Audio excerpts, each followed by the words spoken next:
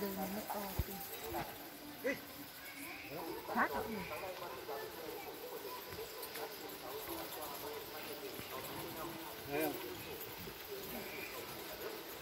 Thấy chứ? Mẹ này chỗ nào mà?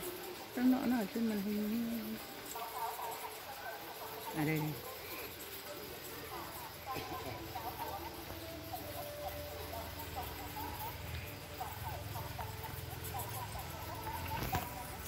Mấy giây? Quay thoải mái, quay cả tiếng được. Đấy và cái hành nó rõ hơn. Nó không nhìn thấy nhỉ? À, đây nè, đang bay ra như như là ong vỡ tổ.